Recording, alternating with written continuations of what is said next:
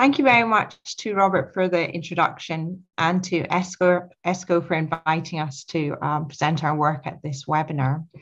Um, so this is um, collaborative work um, with colleagues at the Fraser Allander Institute, so with Kevin Connolly and Mairi Spowage, um, and with excellent research assistance from um, Kira Crummy and uh, Niccolo Brizelli as well. So this is the third project which we've been working on for ESCoE. And this relates to building a suite of subnational socio-economic indicators for the UK.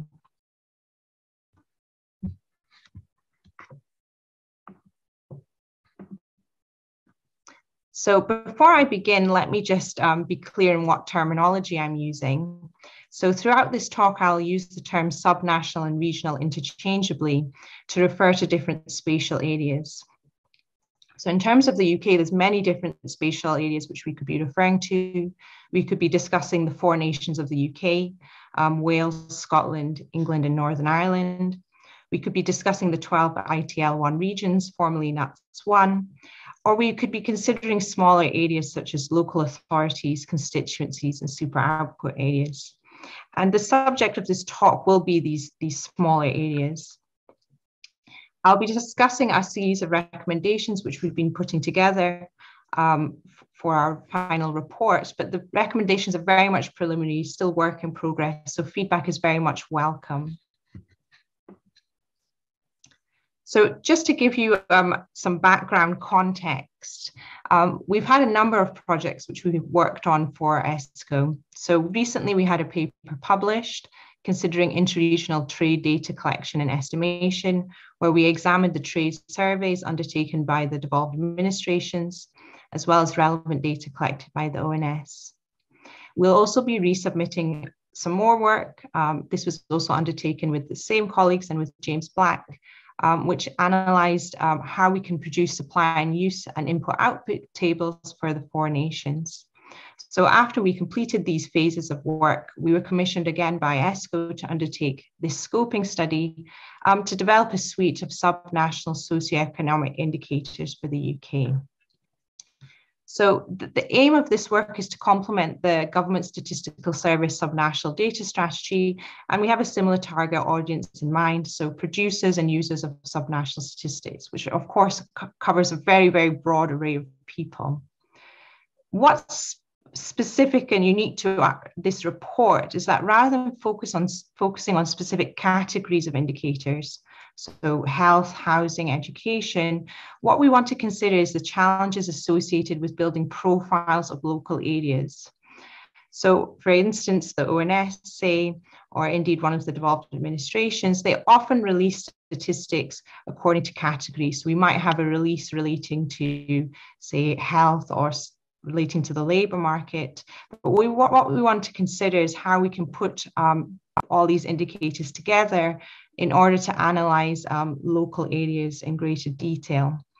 We'll also be adopting a four nation perspective, so thinking thinking in depth as well about what the devolved administrations um, have been doing, what their priorities are, and how they might differ. We'll be discussing the challenges, opportunities, and trade offs. As I said, we'll provide a series of recommendations. The key word here being trade offs, um, because although um, we might have very ambitious strategy in terms of um, actually thinking about how a suite could work, there are going to be trade offs in terms of, say, timeliness, um, granularity, and so on. So, what's currently driving some of the need for subnational indicators in the UK? So, we've got current policy trends. So, recently we've had um, the, the, EU exit, um, we've had the pandemic. Um, so, we've had these current events, and we've seen some very timely indicators um, being produced. I mentioned the GSS subnational data strategy, also recently released. Um, very recently, we had the Levelling Up report being released. And what I'll be focusing on this is actually the technical annex um, on metrics. But aside from all of these current trends, the need for um, subnational data goes back, you know, quite considerably. So we've got the Allsopp review undertaken in 2004 um, and Bean's review in, in 2016. So this is by no means necessarily a new issue either. So as I mentioned, levelling up the regions is now a key priority. We've seen various pieces of funding um, coming about in 2021. I mentioned the levelling up white paper, and as I said, I'm emphasising that for us, what was of interest was actually this technical annex on, on metrics. In terms of the Statistical Services um, subnational data strategy, they outline three major ambitions, and our work complements the first ambition and, and the third. So the first ambition relates to producing more timely, granular, and harmonized subnational statistics. And going back to what I said about trade-offs, there is often a trade-off perhaps between timely or granular or harmonized, and, and that's something that I'll, I'll discuss. They also talk about um, disseminating subnational statistics so that users can access this data more easily, um, and also so that they receive some guidance about you know, how, how these statistics can be interpreted.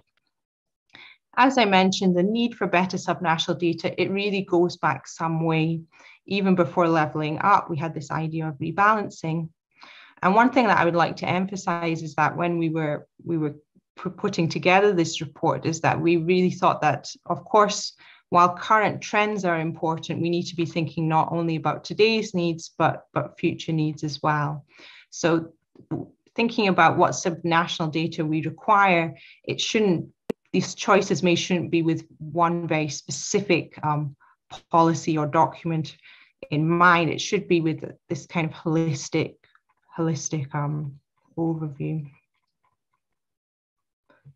So why why do we need a, perhaps a suite of subnational indicators, and what what are we trying to achieve? What is the purpose? Well, we need to identify the overarching characteristics and dynamics of a given region. So users of, of subnational data, they're often looking at a specific area and they want to develop an impression of what's happening in that area. And this comes back to my um, what I said about having local area profiles. We want to also be able to identify inequalities within and between different regions. We want to be able to assess the relative needs of different regions. This is crucial when allocating funding. Something that we've been talking about in the context of leveling up is certainly, okay, how, but how do we do it and how are we going to assess it? So we need to be able to identify the appropriate policy levers and reforms required to reduce inequalities. And we also want to evaluate the efficacy of policies implemented and their impact on socioeconomic outcomes. So it's good to have a broader idea about what the purposes are, because this in turn will inform um, some of our key decisions when we're thinking about how to um, bring together subnational data. So when we were producing our report, what were we thinking about? So what, what kind of were the key discussion points and what were some of the, the different options? So one key issue is how timely should the indicators be? So what frequency should the, the data be at? What level of geographical granularity is required? Um, is, is ITL enough or do we need to look at local authority? Do we need to look at smaller than local authority? What's needed for which context? Do the indicators need to be comparable across the four nations? When do they need to be comparable? When don't they need to be comparable? So having thought about those kind of three preliminary questions, we can then think about which indicators could be included in the suite. So we can appraise what data is available and see whether it fits in with, with the defined timeliness and granularity. Then having considered which indicators could be included in a suite, um, we can then start thinking about how can we minimize issues around measurement, minimize issues around comparability, and start to plug some of the, the, the identified data gaps. We can also begin to think about how this data should be disseminated. One thing that I, it's worth pointing out at this stage, when we think about measurement issues, generally these are issues that are affecting, say, data on the four nations in a similar way. Okay. Whereas with comparability issues, that arises because the data between the four nations may not be comparable. So those are two slightly different, different issues there. So when we're thinking about subnational data, how timely does it need to be? And I'm talking about socioeconomic statistics. So that's also going to be another theme in this talk that's going to keep coming up. So the recent academic and policy literature has put considerable emphasis actually on, on high frequency indicators. And with the UK's withdrawal from the EU and with the pandemic, there's been a huge demand for high frequency data. But when we're thinking about socioeconomic data, the timeliness of the indicators need to be aligned with the purpose of the suite. And there's also a trade-off between timeliness and granularity given sample sizes required. So when examining socioeconomic outcomes and structural issues, our, our impression based on conversations we were having is that, that low frequency data actually is often fit for a purpose. So despite the need for high frequency indicators. In, in terms of socioeconomic data, low frequency data may be sufficient. So one of our recommendations was that the baseline frequency of any suite is of an annual frequency. And this is often perfectly suitable for analyzing education, health, skills, poverty, slow moving indicators which take time to influence.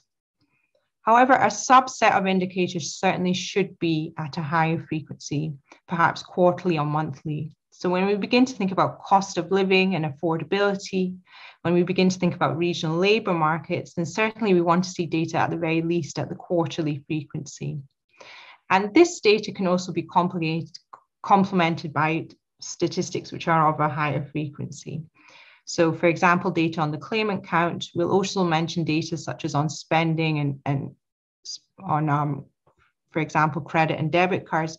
These can be of a higher frequency. And in, in, in the context of crises, we do need some higher frequency indicators. But certainly not all indicators need to be of such a high frequency. What level of geographical granularity is required? So to focus on socioeconomic statistics, we need to focus on small area geographies. So it must be below ITL3 at the very least. And the difficulty comes because we've got the devolved administrations producing data, interested in subnational data. We also have UK government departments busy producing sub, subnational data. So the key goal of the devolved administrations, understandably, is to support policy making in their respective nation. So their subnational indicators are going to be designed to reflect the specificity of their nation and to support devolved policy making. The indicators will also be designed to align with their specific administrative geography. So it's worth mentioning at this point that there's a distinction between statistical geographies, and administrative geographies, with the, the latter lines up with the structure of local government. And of course, the structure of local government, it differs across the UK. The ONS, on the other hand, needs to support policy making across the UK when producing statistics. So great emphasis needs, is placed on comparability of data, and they also need to be able to assess the relative needs of different areas of the UK. So again, comparability is, is more important in this context. The difficulty then is, of course, some loss of specificity, um, some, some loss of applicability to, to the devolved nations. So when thinking about subnational indicators, reconciling these two different sets of needs is key and collaboration between different um, users is very important. So when thinking about small areas, these were the, some of the key geographies which we considered in our report. Of course, local authorities have been the key target when considering um, levelling up. But there are a number of other geographies which are, which are used, and this is by no means an, an exhaustive list. But certainly when we're thinking about small areas, um, output areas are key. So we can think of these as small building blocks, and this is standardized in terms of Wales and England, slightly different in Scotland where data zones and intermediate zones are used. And again, the situation in Northern Ireland is also slightly different. Based on these super output areas, based on um, 2011 census geography, we can build up towards other areas. So for example, the ONS has been um, using travel to work areas for some time. Um, this is of um, very useful when considering le regional labour markets. Um, so this is designed with a specific purpose in mind, specific statistical geography. And then, of course, we can consider um, smaller areas in terms of administrative geographies, but you've got differences here as well. You can see differences in terms of Scotland um, with different Westminster constituencies and different constituencies for the Scottish Parliament. So with this in mind, we recommend that the baseline granularity of the suite is at the local authority level. And for Northern Ireland, local government districts are of the most relevance. In the Northern Irish case, there's been changes to the number of local government districts fairly recently. So there are issues around the construction of historical time series which should be um, investigated. One thing we would also like to stress is that while local authorities may provide a useful starting point, there can be, still be considerable variation in socioeconomic outcomes um, within these um, local authorities. So when we think of poverty, when we think of health, looking at local authorities may not be um, the final answer. So we would also say that all indicators need to be available at a smaller, at a lower geographical level. And this geographical level, it still should make sense in a devolved context.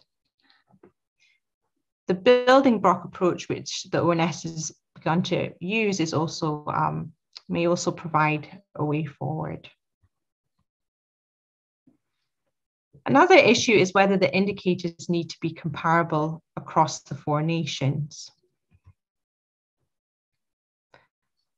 Well, what we would recommend is that the suite includes a subset of indicators which are comparable across the four nations, and remaining indicators should be equivalent in the sense that they attempt to capture the same characteristic but are not necessarily comparable. Where an indicator where an indicator is included for England, we also feel the same indicator should be available for the devolved nations, um, and it should only be admitted um, where it's, it's very, very difficult um, to find equivalent data. And as I said, they need not necessarily be comparable, but they should be broadly capturing the same characteristic. Some caution should also be used around terminology. So it may be easy to perhaps label indicators which are comparable as the headline indicators and indicators which are not comparable as supporting indicators, but some caution should um, be used. Headline indicators may not be the best or be the most representative. So there's, there's a trade-off there as well in the sense that some indicators which are comparable um, may not exactly capture what we wish to. So a broad overview now of indicators which could be included in the suite and, and, and some other issues which arise when we begin to, to consider these factors. So I've I've stressed throughout that we are considering socioeconomic indicators, and part of our report considers current international practice. Canada, in particular, is a, is a pioneer in terms of um, regional data, and Canada's 10 provinces and three territories regularly produce their own economic indicators, and an indication of the of common indicators are included on the slide. So what's interesting about Canada is that it's it's relatively easy to find um, publications at the provincial, at the territorial level, and they do also have these kind of area profiles, but but at the provincial level, which is still quite high. So in thinking about socioeconomic indicators, actually, what we're doing is actually quite different from, from current international practice. The, the emphasis is slightly different. Um, and this will become clear as I discuss which indicators we've been considering. So when we were thinking about indicators which should be included in a socioeconomic suite, considered quite a wide range of indicators. So we considered key economic indicators, but differently from the Canadian case and other international practice, as well as labour markets, we considered skills, education, We also think thought about how education data can be augmented to consider social mobility, income and poverty. So that's quite different from, from what you saw on the previous slide. Housing, health, demography, and rurality. So some of these are indicators you would see in a standard economic suite. Some, such as poverty, social mobility, that's when we're starting to think about um, socioeconomic outcomes. We also discuss some other indicators, um, so newer indicators which could be um, included in the suite. Another point to mention is that in general, we've considered, um, we've placed emphasis on considering outcomes rather than inputs. So rather than, for example, considering um, numbers of doctors or say teachers, we focus much more on outcomes, so educational attainment um, and so on. So in terms of key economic indicators, we've actually, there are a fairly limited number which are what we consider purely economic. So the ONS has recently started producing small area GVA estimates. And lower super output area data is used as a building block to derive bigger geographical areas. So this is actually quite, quite interesting, this idea of having smaller geographies in which you can build up to the, the area you require. It's important to point out here that comparisons can still be tricky. Um, at the smaller areas, direct comparisons shouldn't be made. Um, the ONS has avoided publishing GVA per head because it's inappropriate to compare areas with high net in or out commuting. Another indicator which is, which is very key when we think about cost of living is inflation. This is an area of ongoing development, but sample sizes are a major barrier um, to producing subnational estimates. Trade is very important from an economic perspective, but less critical when we're thinking about socioeconomic indicators and perhaps not required at the same level of, of granularity. All other indicators I'll consider from a socioeconomic perspective.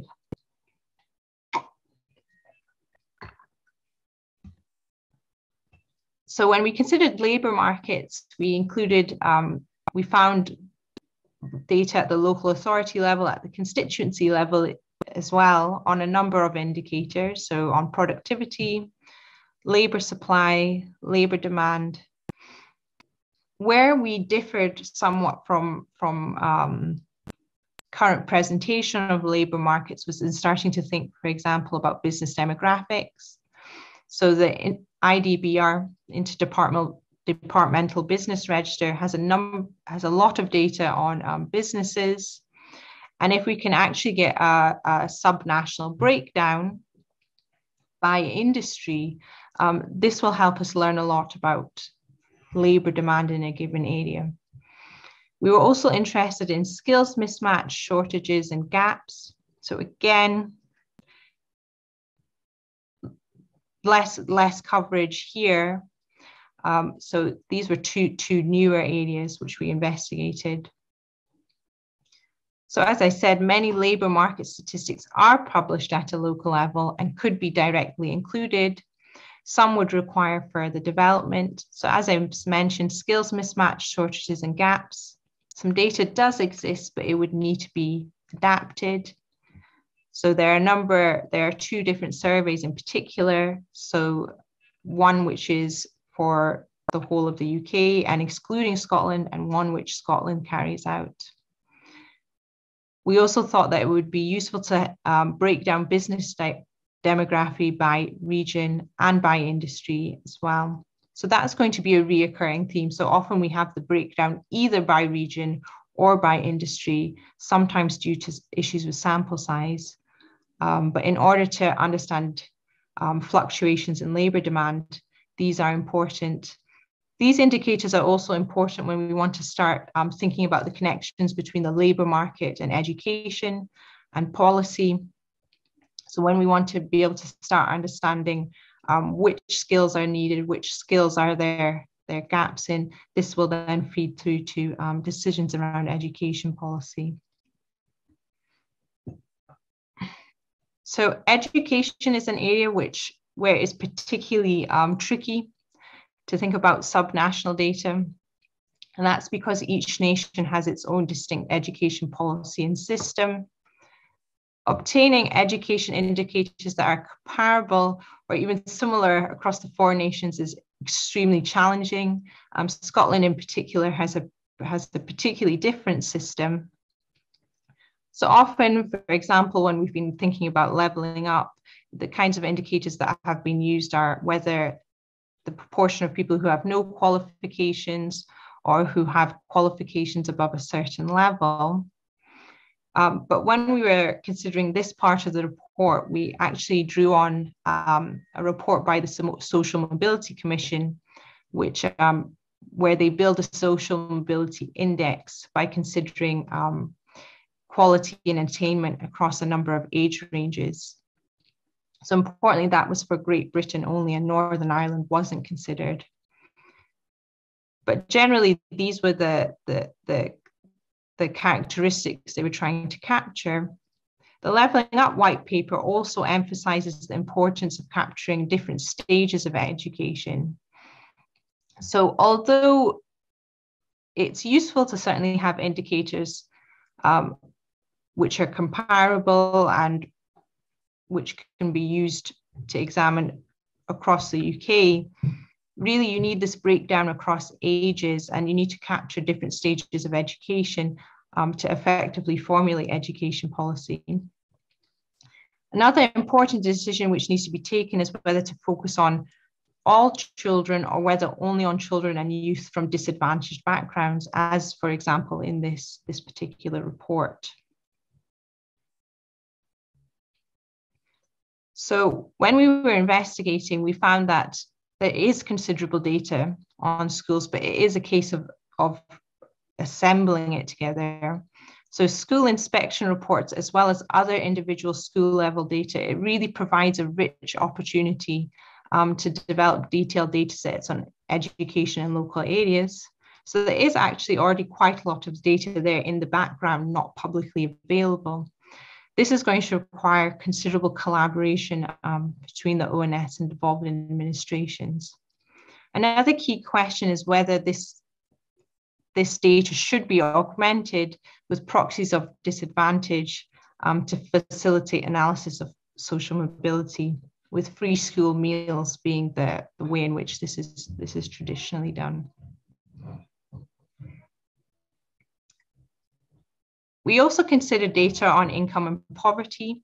So key to leveling up and social policy, social policy are indicators which reflect earnings, income, benefits, and poverty. And in terms of what data is available, there's considerable data on earnings. There's now some high frequency data on employees and pay. So from the HMRC Pay As You Earn real-time indicators. Data on the claimant count and spending on debit and credit cards captures some short-term trends. So generally, in terms of these three categories, we would say that there is data available at the local authority level, sometimes even lower. Poverty is the area in which it's very difficult to, to, to get data, which really is a bit more granular. But it's also the area in which it makes much more sense to have data which is at the lower level. So there is now considerable low level data on um, child poverty, fuel poverty, there's data on English constituencies, which the ONS has been working on. There's now data on food security through the Family Resource Survey, but this is only available at a higher level. And there are many more indicators which could be considered. So this was the area in which there was less coverage in terms of regularity of um, release and granularity. So as I said, most poverty indicators are at the ITL1 level, with child poverty most developed. Income-based measures of poverty for smaller geographical areas, it's very difficult um, to produce these due to the sample sizes in the, the family resource survey. So here I list a number of indicators um, where data is needed um, across the four nations. And as I said, steps have been taken um, towards developing these, but sometimes they're only available for one area of the UK or they're still not yet available at that, that lower geographical level. So I'll go through the remaining categories a bit more brief, um, briefly. So we also considered um, data on housing. So the leveling up um, white paper metrics has placed emphasis on um, home ownership, whether how many, and also housing stock. We focused a little bit more on affordability and also distinguishing between the social and private um, housing markets. Generally, there's quite a lot of data here at the local authority level or lower, slightly less for, for Northern Ireland. So health, while devolved, doesn't pose the same challenges as education um, because the four nations in general are seeking to capture quite similar concepts.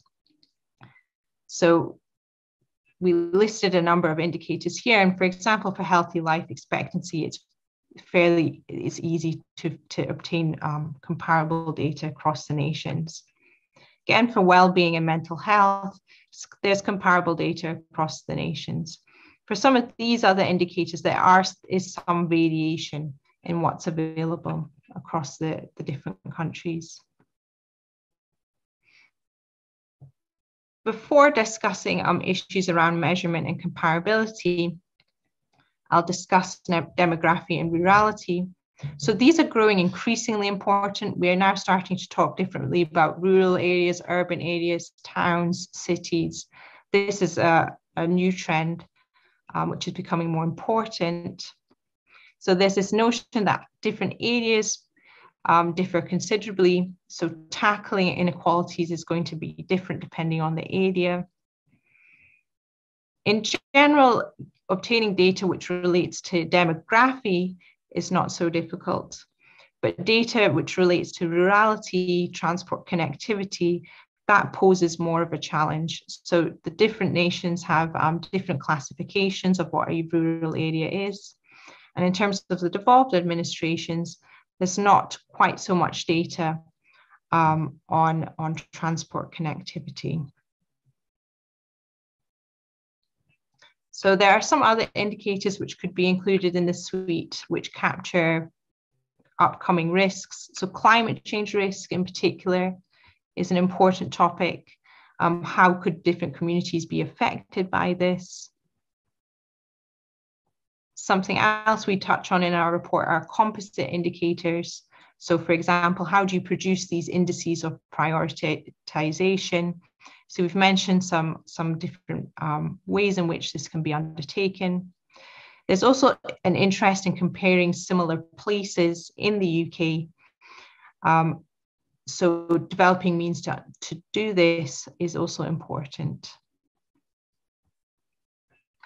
But let me now discuss um, issues around measurement, comparability, and data gaps. So what key challenges do we face in, in actually measuring the subnational data? So what are some of the issues that are going on underneath some of the indicators which I, I discussed in the previous section? Well, when we first think about business data, for business surveys, businesses are sampled from the Interdepartmental Business Register, the IDBR. And historically, data is collected on businesses and the, the reporting units are either classified as Great Britain or Northern Ireland. So how do you apportion activity to local units for example, to obtain, say, Scottish exports or Welsh exports, usually some kind of indicator variable is used to, to disaggregate the data. The difficulty, though, is that uh, the local units, so the units, say, in Scotland, may have a different industrial classification to the reporting unit, which might be in England. So one thing which could be undertaken is to instead ask um, GBRUs to provide information on the activity of their English, Welsh, and Scottish that should read LUs. And when we were undertaking um, our analysis of trade data, that's certainly something that we, we, we saw. In terms of other challenges with measurement, there's many different surveys which are used to collect um, economic data. So for example, the Living Cost and Food Survey, as I mentioned, there have been issues around um, trying to produce sub-national estimates of inflation. And that's because of the limitations in terms of the LCF sample size. We see similar issues with poverty data, again, due to the sample sizes used for the Family Resource Survey. Generally, we have much better, um, well, not better, but more granular labour market data and that's because of the labour force and annual population survey. And of course, the devolved administrations undertake their own surveys as well. With, for example, in Scotland, Scottish core questions being used um, to produce um, smaller area estimates. So Scottish core questions is an example where the same question is asked across a number of surveys in order to obtain the sample sizes needed um, to produce statistics for smaller areas.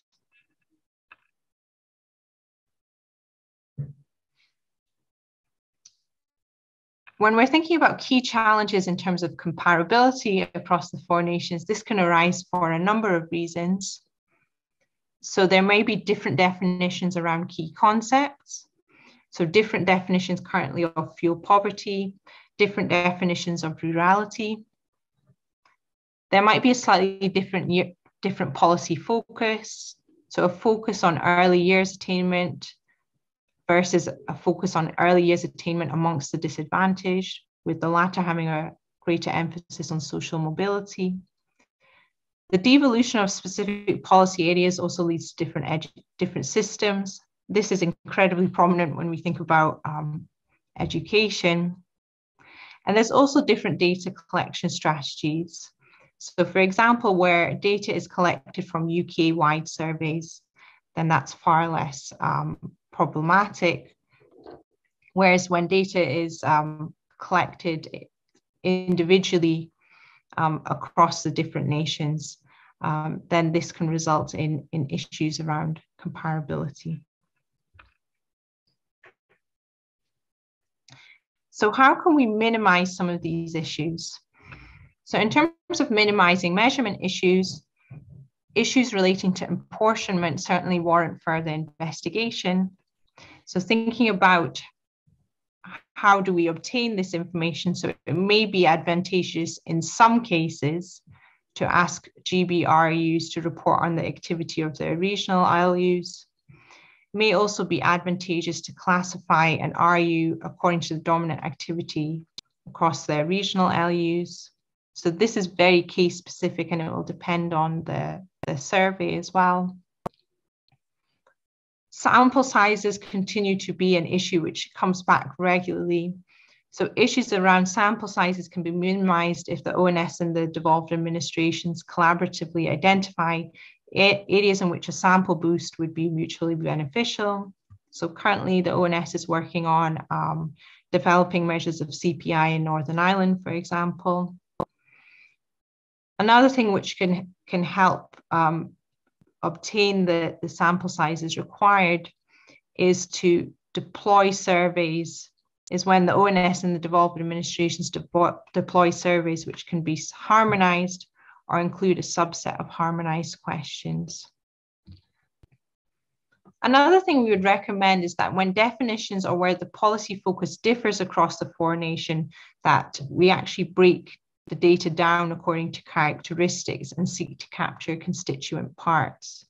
So for example, rather than using a proxy for rurality, it makes sense to instead collect data on population density across the four nations and transport connectivity. So if you can break down the concept a bit more, um, then it, it, becomes easier um, to obtain comparable data. So in terms of our initial reflections on key regional data gaps, we've outlined around six here. So consumer prices seems key in terms of understanding the cost of living. Um, so producing subnational estimates would be particularly beneficial there. Also, um, data on poverty at a lower level would be very useful. Skill shortages and mismatch and education, areas in which there is data, but more could be um, built on. Transport connectivity, there remains gaps in terms of the devolved administrations, and also business demography by industry in order to understand these fluctuations in, in labour demand. So a bit more information on all of these, these points here. So again, as I mentioned, sample sizes posing challenges. Sometimes the data is available, but not quite for the, the, smaller areas required. Standardization required in terms of the, the statistics produced by different nations. Education, as I said, an area where considerable collaboration will be needed and so on. Another thing which could be explored is that data used to capture different dimensions of the indices of multiple deprivation across the, the four nations could also be explored. So a final point before I, I begin to conclude should, so how should the data actually be disseminated? So as I've mentioned throughout the talk, the majority of subnational statistics are published according to category rather than geographical area. One important exception, and this is not the only exception, with the devolved administrations also um, producing their own um, dashboards. One exception is NOMIS, which provides ONS labour market statistics for area profiles. So we would recommend that this service is published, publicized much more widely and that extensions to the service are also considered. So to include, for example, statistics on small areas in Northern Ireland, statistics on devolved constituencies. Ultimately, though NOMIS, or indeed um, some of the new work being undertaken by the ONS, could perhaps provide area profiles on a wide range of indicators. Some consideration also needs to be given to how to guide users so that compared, comparisons across areas are only made where appropriate. So basically, this is a summary of some of the, the key things that have come out of the talk. How timely should indicators be? So we're suggesting annual with a subset to higher frequency. Which level of geographical granularity is required? Local authority for Great Britain, local government districts for Northern Ireland, but this can mask considerable variation in large local authorities. So lower level geographies, which are meaningful in a devolved context, should also be considered. Which indicators should be included in the suite? Well, we included a, a wide range with an emphasis on socioeconomic as opposed to purely economic data. Do indicators need to be comparable across the four nations? No, not all indicators need to be. A subset should be comparable with others equivalent, and caution should be exerted when referring to a comparable headline and remaining supporting indicators, because that headline indicators are not necessarily um, the best indicators in that instance. How can measurement issues, comparability issues, and data gaps be minimized? Well, issues around apportionment and disaggregation need to be considered. Areas should be identified in which the ONS and devolved administrations can collaborate to boost and harmonize surveys. Where, where definitions differ across the four nations, should seek to use indicators which capture constituents' parts. We also identified a number of key data gaps. And in terms of dissemination, we stress the importance of local area profiles and the guidance that users will need in order to make valid comparisons. So thank you very much for listening to this talk. Um, I'm very happy to take questions and to even hear any feedback and comments as well.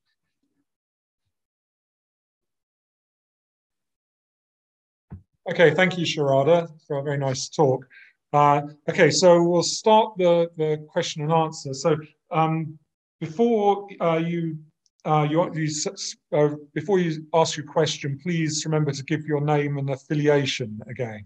Okay, so uh, the first um, question is from Thomas Newton.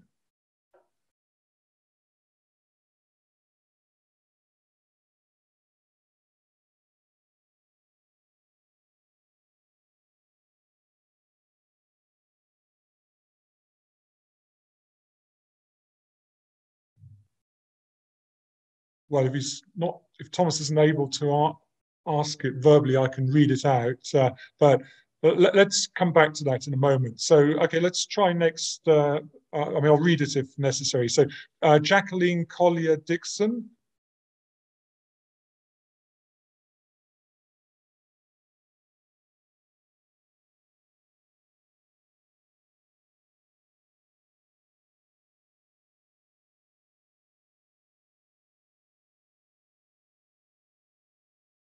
Okay, also doesn't seem to be working. Uh,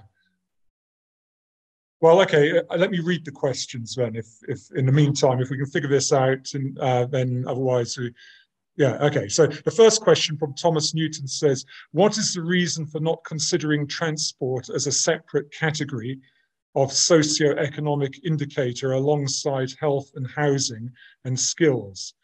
It strikes me quality of transport is a key factor in determining social inclusion, quality of life, and inequalities, as is recognized in the LUWP. There is also a huge amount of data available, although of, of varying quality. So thank you, Thomas, for that question. So obviously, when we were undertaking the report, I think there are literally hundreds of indicators we could consider. So we considered um, transport connectivity within the context of um, demography and rurality. And we were thinking in terms of um, in terms of some of the indicators that had been used, for example, to develop indices of prioritization. And in terms of those indices, um, data on transport connectivity, there wasn't sufficient data on Scotland and Wales. So that was the point that we've pointed out um, in terms of the report, but certainly that's something that we could um, reflect on um, going forward, thinking about how quality of transport um, fits in perhaps as a separate issue, which can't completely be considered in the context of demographics and rurality. Uh, Robert, you're on mute. Thank you. We seem to be having an issue that uh, the the um, the participants can't aren't able to. Uh, I mean, they're unmute. unable to unmute them at the moment. Okay. It seems, but uh, well, let me try again. Just see if, uh, if Jacqueline Collier Dixon, are you able to unmute? And if not, I'll read your question. Hi, Robert. Please read her question. She's unable okay. to unmute. Okay, right. I'll read it. So uh, the question is this: uh, interesting with the rural urban classification is there anything possible on seasonality? Some areas are very seasonal in their income, such as Norfolk, uh, relying on agriculture and tourism. That's a really interesting issue. So, I think one thing in terms of the timeliness of the suite, we've been thinking of data at the annual frequency. So, of course, all that seasonality um, disappears from the data. Um, but when thinking about higher frequency statistics, then seasonality um, becomes an issue. So I think that is something that we could um, take a note of um, going forward as we as we um, produce the final report. Okay, so the next question is uh, uh, from Angel Angelica uh, Bardalai.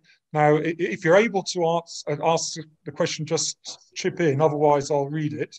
Uh, and it is this, on the issue of timeliness, and also given the, the limitations of the survey approach that you are flag, that you flagged, to what extent are you considering incorporating alternative data sources into the suite? Uh, brackets, there is huge demand for data at a high frequency, uh, at a higher frequency than annually. Mm. I think that certainly a subset of indicators could be um, a, a, higher frequency. And I think this would obviously involve using um, different methods. So, for example, even when I think about prices, data, things, techniques such as web scraping and so on. But really, what we were thinking was what are the indicators which would make up the core of a suite? And it is, while it is definitely true um, that there's a huge demand for data at a higher frequency, I do think it is still appropriate um, for certain categories such as as I said, education, poverty, and so on, um, to use lower frequency indicators. I think what the question is about identifying um, the categories of indicators where higher frequency data would be needed and therefore where um, non-survey based approaches um, would be relevant. So I think I think it's maybe about capturing um, the which categories um, where that, that higher frequency data is needed. Thank you. Hi, can you can you actually hear me? This is Angela yes. speaking. Hi, oh, Jen. Brilliant. Um, so we've we've got the the technology going, and I was able to unmute. Um, well, just to say thank you very much for the presentation. Um, this is extremely extremely topical, and um, just just a follow up to your response to my to my question. Um, when you talk about, you know, identifying the indicators where it would be more or less appropriate to consider something, um, you know, higher higher frequency uh, than than annual, is the consideration primarily around, you know, the robustness of of the data and what one might be able to to do at a at a higher frequency, or is the consideration more that, you know, because what we're considering here is socioeconomic indicators, you feel that um, you know, it wouldn't necessarily be valuable in some cases because some socioeconomic indicators, uh, you know, in terms of, you know, education or poverty, you think may not show um, lots of change mm. at higher frequencies? Or is That's, it both? I think it's more the latter. I think it's in the sense of thinking very hard about the purpose of the suite um, so because the emphasis is on socioeconomic indicators and it's meeting specific needs, I think that's why um, we haven't focused so much on high frequency data. And it's definitely true that from a policy perspective, there is a there's a lot of space to be thinking about high frequency indicators and also um, using um, different methods um, and you know using more innovative data sources. But in a sense, uh, this is about thinking about um, socioeconomic indicators and actually a lot of the survey data is actually okay. Um, and an annual frequency actually fulfills that that purpose i think. Okay.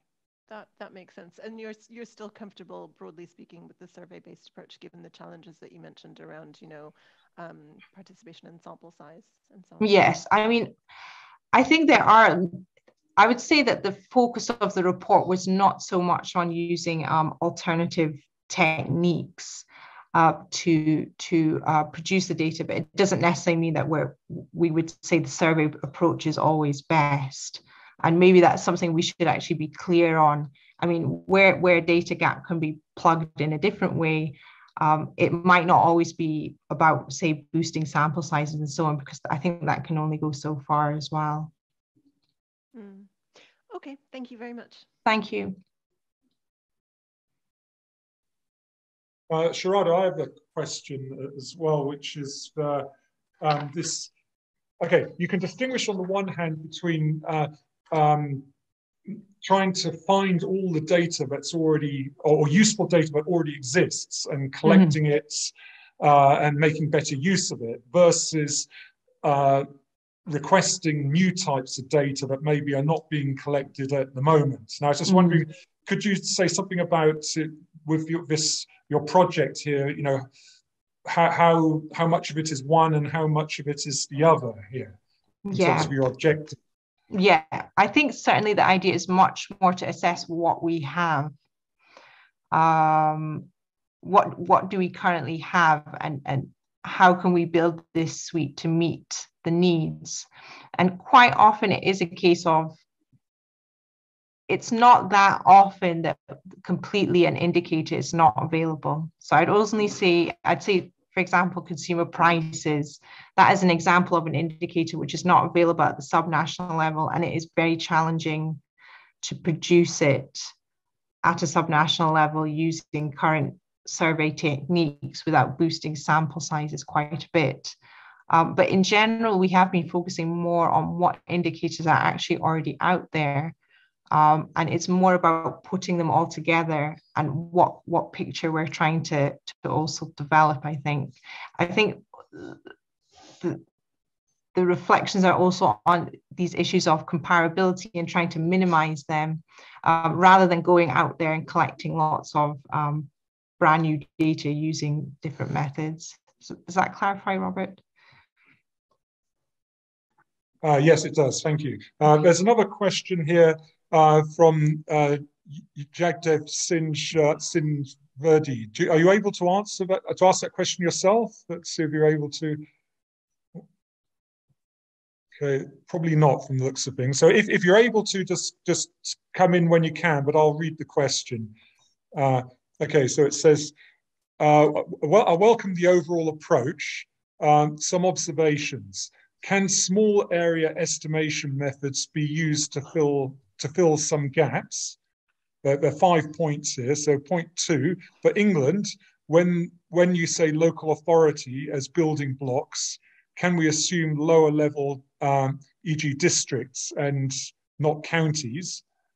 Uh, three, alongside GVA, do, do you propose making available hours worked at all uh, geographies so that productivity can be calculated for bespoke geographies? Four, on dissemination, ONS and the Neighbourhood Statistics Facility which easily provides area profiles. Oh, sorry, had the, uh, sorry, on dissemination, ONS had the neighborhood statistics facility, which easily provided area profiles. When it was stopped, a replacement was supposed to be developed, but it, it but is still awaited. Can this also be prioritized? And finally, uh, five, I didn't see the crime, I didn't see crime mentioned in the list, but should be considered. Thank you.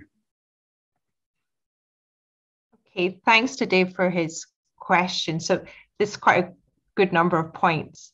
So I agree on the crime points that crime should be mentioned, but isn't currently considered because it is definitely um, one area in which we we haven't pulled anything together as yet. But I, I agree that it feel it, it falls in line with um, the other indicators we're trying to consider. Um, on dissemination, then that's a useful point about the neighborhood statistics facility, and that's certainly something we can we can look into. Um, on the question of building blocks, I think what I was referring to was the ONS's recent approach in terms of using output areas as building blocks.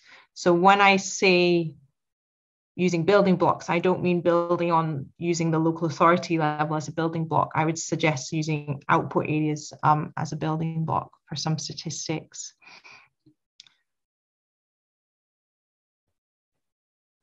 Uh, I, oh, sorry, go, go on, sorry. No, sorry, no, it's okay, Robert, sure, no, go ahead. Uh, well, I was just going to say, but one other thing that's uh, crossed my mind is uh, one useful statistic, which I, I, don't think you, I don't think you've covered this at least, uh, is energy performance certificates that would be, uh, I mean, it'd be useful in two regards. One is uh, in terms of climate angle. I'm thinking here for energy performance certificates for residential housing, but also potentially in a leveling up context as well, if it turns out poorer areas have lower energy efficiency. Now, the problem at the moment is as I understand it, that good data is available for England and Wales, but I don't think that's the case in Northern Ireland and Scotland. Mm-hmm. So, I mean, so so again, this might be coming more into a kind of wish list direction that, that could um, maybe a, a, plea could be put in to to um, to have to try and get better data for Scotland and Northern Ireland on energy performance certificates for for residential housing. Thanks, Robert. Yeah, I think I think certainly in terms of the climate indicators, it's more an area which we feel is important, but we haven't covered in detail.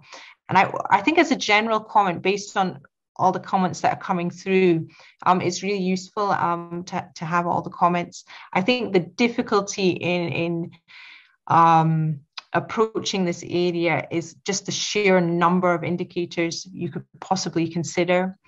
Um, and I think what we've tried to do in the report is try and pull through um, broad trends and broad areas um, and have that more holistic way of thinking. I think that that's some of the, the value added that we're hoping to bring um, because it is quite easy to focus in on one indicator and then then um, delve very deeply into it. But um, yes, I'll definitely be keeping a track of all the the questions posed and where I haven't fleshed out more deeply, then it's something that that we can investigate further when we're finishing the report.